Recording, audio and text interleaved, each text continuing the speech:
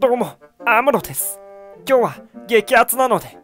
最後まで見ていってください。お願いします。はいどうも。皆さんこんにちは。のいちです、えー今日なんですけども、えー鬼滅の刃196話まとめということで、えー196話のまとめと197話の考察をしていこうと思います、えー早速196話まとめいきましょう、えーまずですね196話の最初、えー、禰豆子が走ってる描写から始まります。でそこでですねなんと禰豆子がほぼ人間状態に戻ろうと、えーしている描写から始まるんですけども、えーなんとですね禰豆子はですね鬼仏寺無惨に殺された日のことを思い出します。そこでですねあることが分かりました。なぜ禰豆子はあんなに強い鬼だったのかと。まあ、いうところです、えーなんとですね鬼仏寺無惨はあの夜、えー太陽を克服できるような鬼を、えー作っていました、えーその時ですねかまど家に入ってですねえー禰豆子とか他の、えー家族たちに大量の血を注いだわけなんですけどもえー、死んだと思っていたんですね。鬼仏寺無惨は。ですが禰豆子は奇跡的に生きてですね大量の血を浴びた禰豆子は、えーあんなに強くなって、えー太陽も克服したと、まあ、いうところでだからあんなに禰豆子強かったのかと、まあ、いうところになります、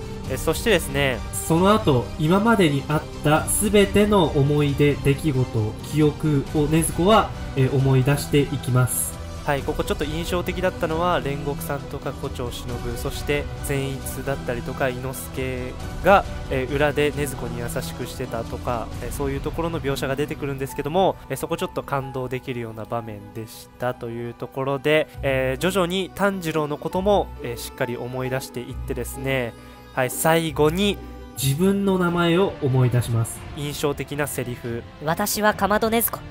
鬼に家族を殺された。というセリフが出てきます、えーなんとそこで禰豆子は人間に戻ります。はい。禰豆子が人間に完全に戻りますというところでまあこれね完全に人間かとえー言われるとまだちょっとわからない部分なんですけどももう80%人間に戻ってると思います。はいということで禰豆子が人間に戻りました。はい、えー、そこで場面は変わってですね、えー炭治郎イグロさん VS 無惨という形になるんですけども、えーなんと無惨ここで頼一の時に使ったあの逃げ技。分裂して逃げようとします。ですが、はい、無惨なんと逃げられません。あれ、おかしいとなった無惨はですね、薬はやはり2つじゃなかったのか3つだったのかという考察をします。そこで出てきました3つ目の薬、え分裂阻止と、まあ、いうところで3つ目の薬は分裂阻止でした。えしかしですね、無惨の考察はすぐ間違っていました。玉代様が出てきてですね、薬は実は4つだったということが明らかになりました。はい。なんとその4つ目というのが細胞破壊。という薬になりますはいということで、えー薬出てきた4つをおさらいしていくと1つ目は人間帰り。そして2つ目は、えー1分で50年間追いさせることができる老化の薬。そして3つ目は細胞分裂の阻止の薬、えーそして4つ目は細胞破壊の薬。というところでなんとなんと、えーここに来て3つ目4つ目の効果が出てきてなんとですね最後、えー鬼仏寺無惨は吐血をして196話は終わったわけなんですけども4つ目の薬、え細胞分裂がかなり効いてきたというところになります。はい。まず鬼仏寺無惨のことについて。鬼仏寺無惨ね。いやこれかなり弱体化してますね。いやもう終わりが結構近くなってきてるのではないかなと思います。はい。4つ薬があったというところで、えー、鬼仏寺無惨も完全に逃げることがほぼ不可能な状態になっているので、はい、決着というのは、えーつくと思います。197話以降でね。ではい。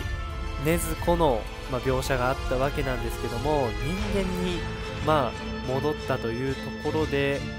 まあ人間にもし戻っちゃったのであればもう無残に吸収されることはないのではと、まあ、ちょっと考えるんですけどもまだもしね鬼が少しでも残っててまた鬼にぐんと、え戻っていっ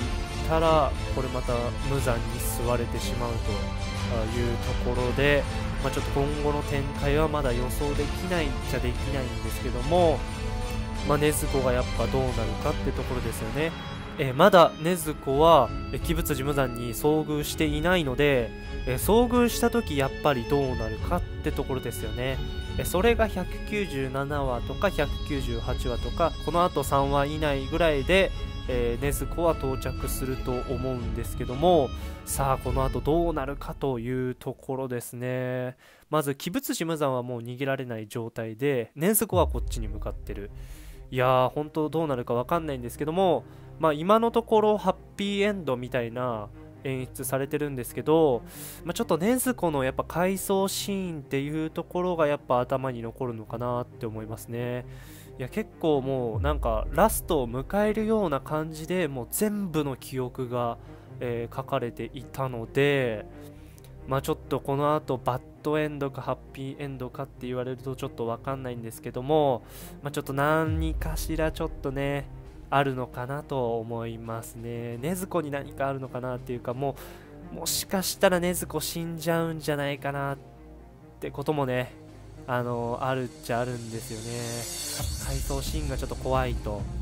まあ、いい意味で、えー、鬼滅の刃の作者は、えー、視聴者の期待を裏切ってくるので、はい、ハッピーエンドじゃない？みたいな感じの演出でいくと、ちょっと、どっかでこうダメージを食らう可能性があります。はい。なのでね、あのー、ハッピーだけどバットみたいな感じの、えー、終わり方があるんじゃないかなってちょっと思ってます。ということで、えー、次回も目が離せないという感じになりますね。はい。ってことで、え次回の197話まとめもぜひぜひ、えご覧くださいということでチャンネル登録高評価えー、皆さん感想などコメントぜひぜひお願いいたしますということでまた次回の動画でお会いしましょうバイ